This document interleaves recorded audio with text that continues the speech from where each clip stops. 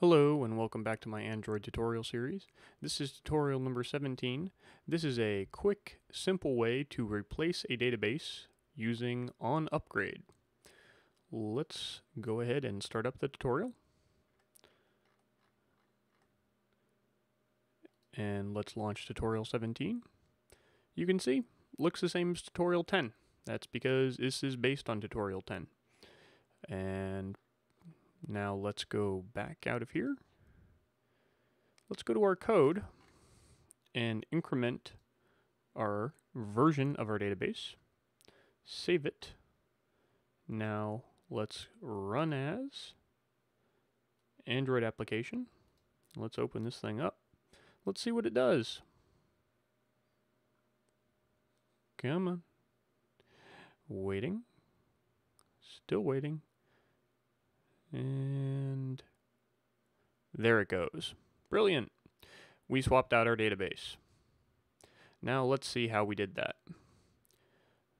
First, let's look at our assets. We've got two different database files in here. We've got our tutorial 17 main activity class. This is almost identical from the uh, tutorial 10. Uh, in fact, I'm actually, I think it is identical. Uh, now let's look at our ingredient helper. Almost the same once again as tutorial 10. A few minor differences. You'll note the schema version, when we incremented it and ran the activity a second time, it called the on upgrade. Now on upgrade, new version equals equals 2. This just threw a thing to our log file. Let's go take a look at that. In our debug, Look at that. It actually threw that to our error log. So we know that the on upgrade executed. Now, if we look in our on upgrade, this looks really similar, or really familiar rather, and it should, because this is how we copy a file and overwrite that file.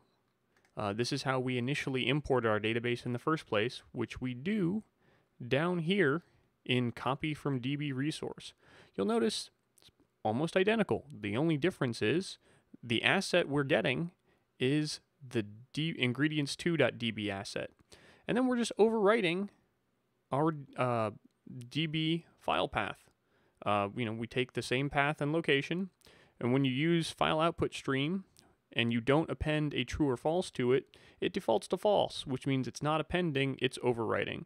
So once you write and flush, you're going to overwrite the existing file, which is the existing database. So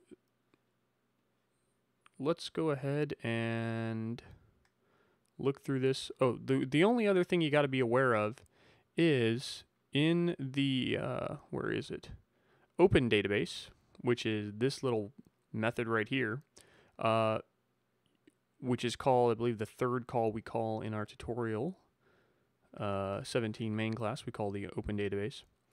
You must call either get writable database or get readable database. If you don't call this function, on upgrade is never called.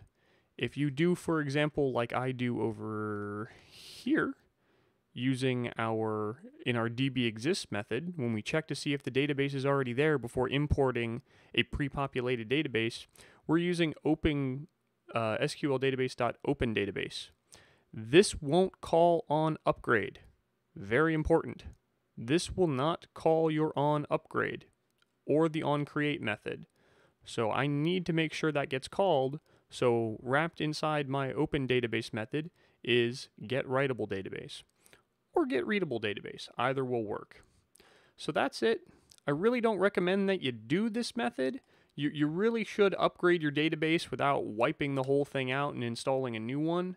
Um, that's typically a bad way to do it. You should do it using um, your SQL methods to augment the existing database because you never want to accidentally cause your users of your application to lose all their data, which is what you're going to do if you do this because we essentially deleted the existing database in the application and wrote it uh, wrote over it with the new database that we included with the new version of our application. That's not the preferred way to do it, but it is a way to do it. And if your database never gets written to, it's not the worst way to do it. I still just wouldn't recommend it. Um, but this is how you could do it that way. Uh, once again, if you got any other requests or questions, feel free to uh, send them my way.